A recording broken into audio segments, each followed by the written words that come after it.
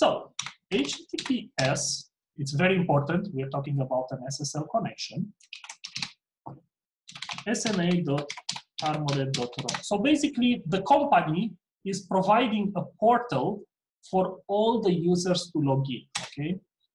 This is the portal, okay? So this is one portal, all the user, it doesn't matter which relationship you have with the company, either you're an employer, employee or you're a third party support or uh, you have a different relationship with the company, you connect here. Everyone connects here.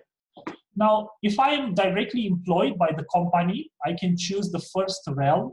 If I'm a partner, maybe I would like to choose the second one. If I'm a third party or mobile user or whatever I am, I can choose differently. And this is actually configurable.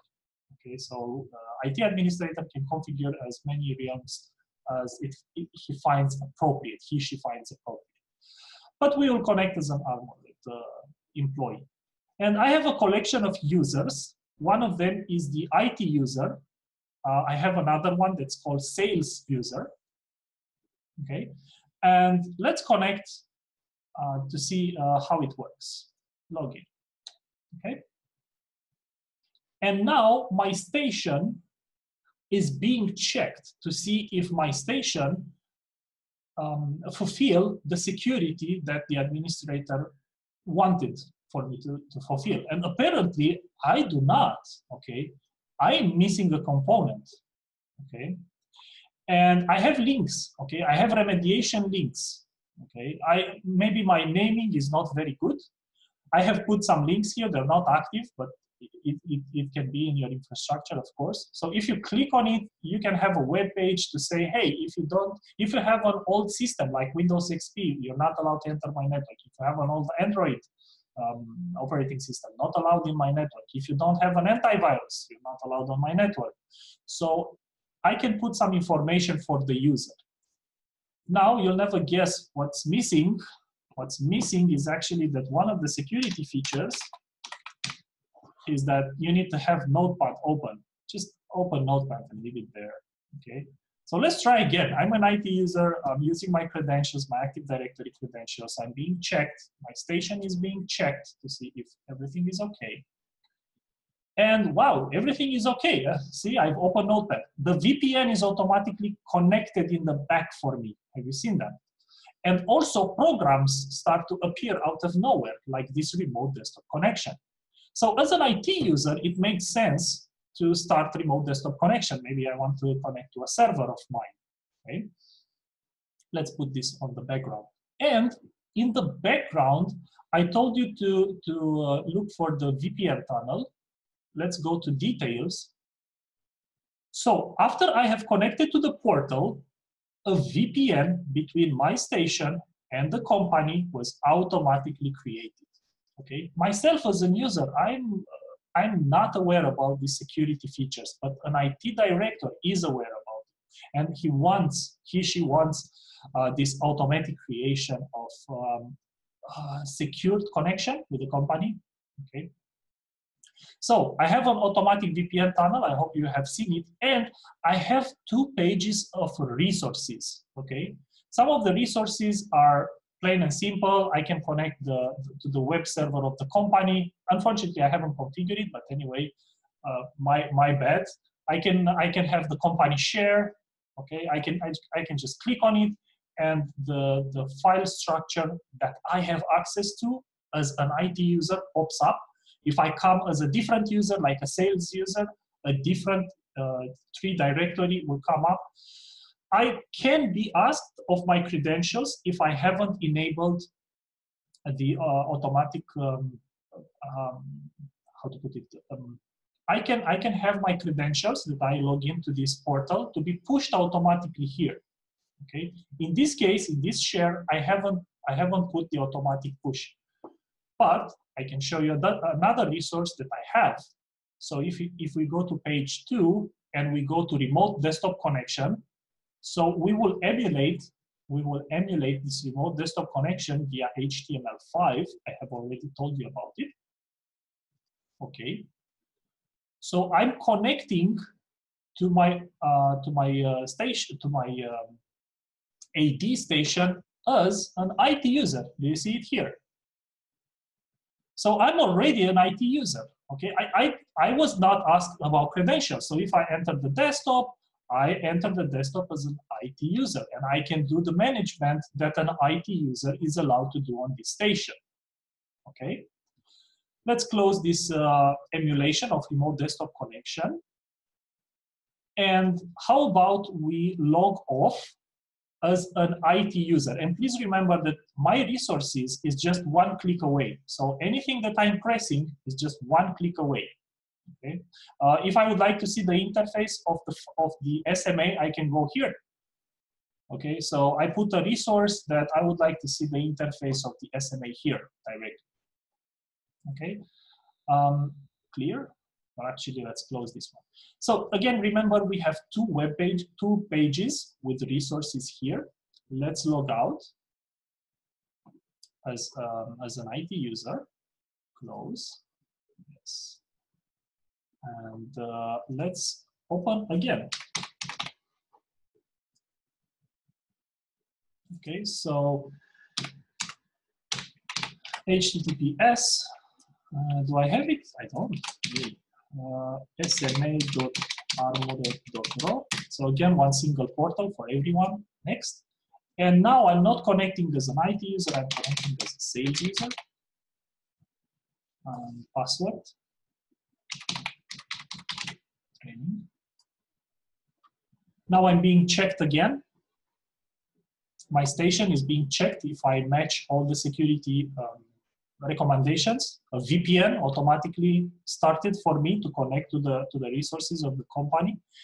And see, I have different resources and they have different layouts. So me as a sales user, I have my own sales workplace. Here it is. And it looks different from the IT workplace. And uh, again, uh, the automatic VPN started behind me.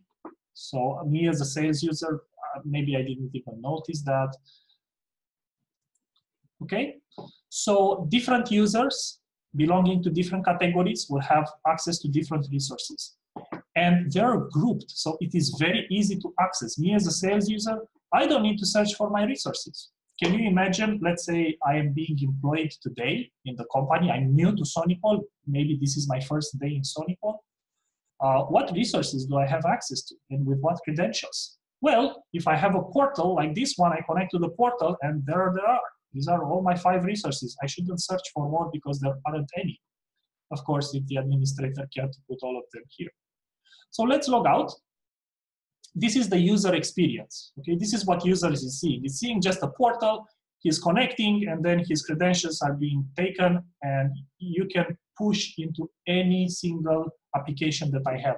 I can put on that web portal Office 365, G Suite, CRM, Salesforce, whatever. Okay, so I create a, a one unique place for all the users to log in. So now uh, let's see just in, in, very shortly how the uh, interface looks like. So this is the interface. Uh, why? I haven't, oh yeah, I haven't been connected for 168 hours. Okay, it's still working, so don't worry, this is not disabled. And this is a warning because I've been very tough with it. I've been medium tough with it. Okay, we will leave it like this. We don't touch it. So basically what you have seen, those armored, armored partners and armored mobile, these are called realms and you create it from here, from the realms. But actually realms are the last thing that you will create and it's a combination of all the other, other resources that has to be available until you create the realm. So you will start with authentication servers. Okay, you will create first your authentication servers and we have quite many options. Okay, we have basic Active Directory, advanced Active Directory, we have classical LDAP protocol. So if you're if you don't use Microsoft, but instead you're using uh, Linux or other operating system, just go with LDAP. We have uh, one identity defender. We have uh, PKIs. We can have um, RSA authentication manager. So basically, we can have uh, federated single sign-on. If you have federated single sign-on, this is a great, great way to, to go. Um, and then depending on what you're choosing, you have uh, other possibilities to, to configure. Okay, let's say I'm choosing one identity defender, I'm saying continue, and then I'm being uh, presented with a personalized information about how to connect to it. And uh, then you'll create resources and all the links, all the links that you have seen there are actually resources, okay? Um, the remote desktop connection, this is a resource. The link to access my files, this is a resource. Uh, the, the actual internet, it's a resource. The VPN that's, that's uh, connecting automatically, it's a resource. And I can create other resources, okay? Like specific URLs. Um, maybe this is what I need to create right now, a URL for the users that cannot log in okay, if you have an issue. Names, IP, network, share, subdomains, subnets, sorry, Windows domains, uh, server, servers of any kind or server farms if you have um, high availability and redundancy on those, etc., etc. Um, you can um, you can have uh, users and groups. So after you connect to your Active Directory, just like on the firewall, you start taking the groups from the Active Directory and then you start to apply those groups to different resources okay? You create workplace. Workplace is you take some of the resources for sales and you put it in a place called sales. You, you take the resources available for IT and you put it for the IT. And you can have um, different styling, different colors, different logos for those guys, different for IT, different for sales, different for partners, etc., etc. Okay, and uh, you have um, agent configurations as well, so you can decide uh, um, which is matching which. Uh, you have capture, but for that you will need to group all the SMAs under um, uh, CMS, uh, which is done very simple, but is not the purpose of this training. And then you can enable um, capture advanced threat protection, okay? And after you have finalized you can add services etc so after you have finalized with creating the resources then you go and you actually create a realm okay? New realm. So you give a name let's say uh, new realm something like this. And you click next. Uh, sorry about that. You choose uh, one form of authentication. I have only two so i'll choose one of those two and then you start to add the um, all the resources that are available. Then you start to add the rules that are available. And then you you click next. For instance i can add the community. Okay I, then then i will choose the resources for them. The difference between the sma and the firewall is that you create configuration changes. Okay you create configuration changes but these are not immediately activated. There is this pending changes button. Sorry about that. There is this uh, pending changes button. So once you are happy with all the modifications that you want to do, you just uh, apply the changes. Okay, and this is transparent. This will not disconnect users. Okay, unless of course you change something. So after you you have done this, if we will connect one more time, internet, internet explorer, uh, sma.armor.ro okay, we, we have this new realm, okay, with new form of authentication. Uh, here can be two-factor authentication depending on what you have chosen, okay. Uh, I know that this was a very fast-paced um, uh, session with WAF and secure mobile access. Uh, the most important thing to remember is that WAF is protecting web servers and SMA is for mobile users. Okay, so we can handle very well the mobile users. Now, with that being said, uh, hopefully you you get a clear view what the user is seeing, what is the user experience on SMA. And with that being said, uh, we end the, today's uh, WAF and SMA session. I would like to thank you for your time. If you have questions, I'm still here. So now you can open your microphones and you can ask me questions or you can use the, uh, the chat, the, uh, the chat that is available to you. And the, the big difference between uh, firewall and SMA actually, um, I have put a short movie about it, is that um, the firewall offers network security and SMA offers um, access security. Okay, so this is the big difference. Hopefully, uh, we can join, uh, next time we do an implementation, we can join forces between the firewall and the SMA. Again, thank you very much for, um, for being with me today and for uh, uh being part of this session. Um, I end here the presentation, but I'm still here to answer your questions and take your, uh, your uh, chat. Okay, thank you again.